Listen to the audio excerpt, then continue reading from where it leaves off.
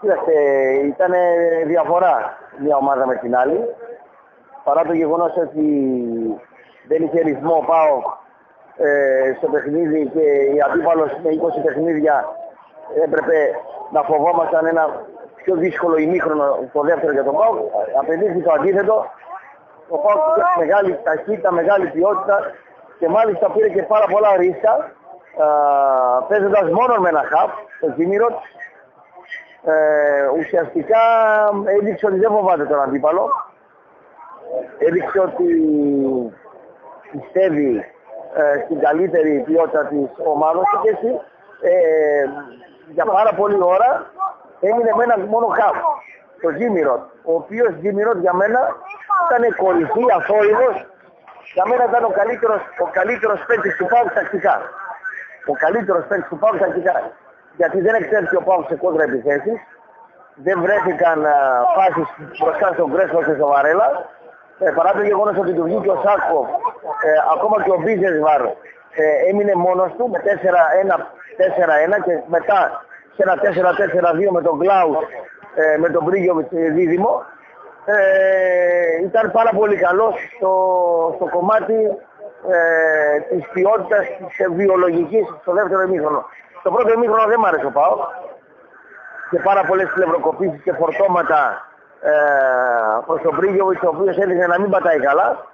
Τελικά όμως ε, ε, βρέθηκε σε ένα πολύ ωραίο δεύτερο γκολ στο πρώτο δοκάρι να κάνει τη δουλειά του σαν κεφαλοσφαιριστής και στο πέναλτι το οποίο φυσικά ήταν πολύ καλά εκτελεσμένο. Ε, νομίζω ότι δεν θα έχει προβλήματα, ακόμα και εμένα ένα να έφευγε από εκεί. Από την Τούμπα δεν θα έχει προβλήματα, σε καμία των περιπτώσεων. Αλλά αυτό το παιχνίδι δεν θα πρέπει ε, να... Μάλλον αυτό το παιχνίδι δείχνει ακόμα μια φορά ότι ο Πάουκ στην μπροστά γραμμή δεν έχει καμία ανάγκη να κάνει καμία μεταγραφή. Αντίθετα, ε, δίπλα στο Τζίμιρο, το οποίο δείχνει ότι είναι ο πιο καλός στα ΚΑΠ στον ανασταλτικό τομέα, εκεί πέρα ο Πάουκ χρειάζεται οπωσδήποτε ενίσχυση και οπωσδήποτε στα στόπερ. Επαναλαμβάνω ότι αυτό το 3-1 και έτσι όπως είναι δεν θα πρέπει σε καμιά των περιπτώσεων να βυθίσει ε, σε τελάγια ευτυχίας στον ΠΑΟΚ ε, πιστεύοντας ότι ακόμα και η πίσω του γραμμή είναι πάρα πολύ καλή. Ε, με, με απογοήτευσε πολύ ο Λέοβατ το κομμάτι και το δημιουργικό και το κομμάτι το ε, ανασταλτικό και για μένα ο, καλύτερο, ο χειρότερος παίκτης του ΠΑΟΚ ο χειρότερος παίκτης του ΠΑΟΚ ήταν ο Μακ ο οποίος με προβληματίζει πάρα πολύ. Δηλαδή ενώ ο Πρίγιοβιτς είναι ντεφορμέ, άντε θα πατήσει καλύτερα, άντε θα ανέβει, άντε θα, θα, θα, θα φορμαριστεί, θα πάρει περισσότερα μέτρα κτλ. Ε, ο Μακ δείχνει ότι παίζει ένα παλιωμοδίτικο ποδόσφαιρο, δείχνει ότι παίζει πάνω στη γραμμή, δεν χώνεται ποτέ προς τα μέσα και έδειξε ότι είναι ε, ένας ποδοσφαιριστής ο οποίος ε, προβληματικό το βλέπω περισσότερο παρά ε, να παίρνει μέτρα στο, στον αγωνιστικό χώρο. Με προβλημάτισε η φιλοσοφία του. Και το γεγονός ότι πήγε πάνω στη γραμμή και φόρτωνε. Δεν πήγε ποτέ προς τα μέσα, δεν πήγε ποτέ κοντά στον Πρίγιοβιτς, δεν έκανε ποτέ κίνηση προς τα, προς τα φόρ, δεν έκανε κίνηση ποτέ προς τον άξονα και ήταν ιδιαίτερα προβληματικός. Επίσης, ο Μπίσεσβαρ, ο πιο ποιοτικός παίκτης του ΠΑΟΚ, πήρε και αυτός πάρα πολλά μέτρα στο παιχνίδι, κουράστηκε και, και γι' αυτό βγήκε και μπήκε ο Ενρίκε εκεί.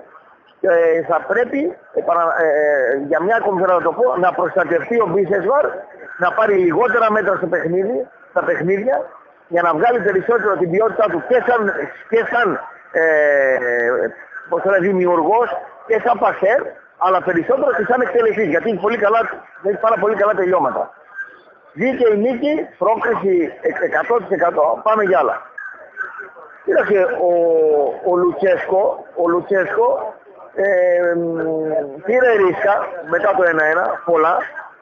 Είδε βέβαια ότι ο αντίπαλος του ε, δεν, δεν θα του δημιουργήσει προβλήματα. Βγήκαν δύο φορές. Βγήκαν δύο φορές. Βγήκαν δύο φορές πάνω ε, στα στόπερ, τον Βαρέλα και τον Κρέσπο σε κάποιες επιθέσεις ε, καθάρισε πάλι ο Κίμηρος τη μια φορά και το Μάτα στην άλλη. Ε, καλός ήταν, ήταν αρκετά καλός.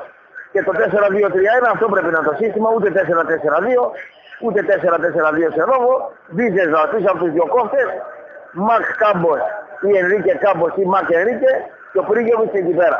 Ωραία φταίει στον γκολ.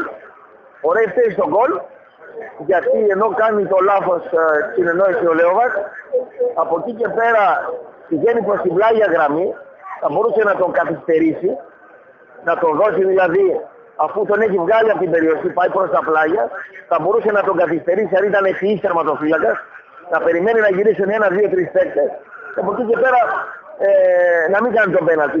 Ήταν δηλαδή πολύ βεβαιασμένη κίνηση να κάνει τον πέναλτι. Και ο Λέοβας αλλά και ο Ρέι τακτικά, στρατηγικά βιάστηκε να, να, να πάει πάνω στον παίκτη. Δεν υπάρχει κανένας λόγος στην πλάγια γραμμή όταν έχεις τον άλλον πλάτη στην αιστεία να κάνεις πέναλτι. Ήταν λάθος και του Ρέι δηλαδή. Ε, εάν θα το οι εφημερίδες γράφουν ή τα site ότι φταίει ο Λέοβας, ο οποίος ήταν κακός βέβαια, εγώ θα βάλω στην, στην υπεύθυνο το Ρέι, ε, γιατί δεν, δεν σκέφτηκε στρατηγικά.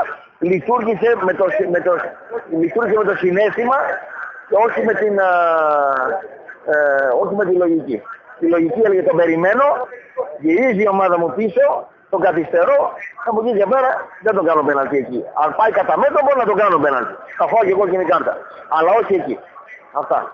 Like, like, μαλάκες, like. Για όσους ρωτάτε πώς μπορείτε να μας βοηθήσετε, λέει, ανοίξτε τα αυτιά σας. Πατήστε στο YouTube Ραπτόπουλος με αγγλικούς χαρακτήρες, μπείτε στο κανάλι μας και πατήστε εγγραφή. Δηλαδή, subscribe. Subscribe. Γίνεστε συνδρομητές δωρεάν και βλέπετε όλα τα βίντεο αμέσως μόλις ανέβουν. Κουμουνιστής είναι αυτός. Θα κάνω εγώ δουλειά με δεξιό, θα κάνω δουλειά. Like, like, like. Like, like, like.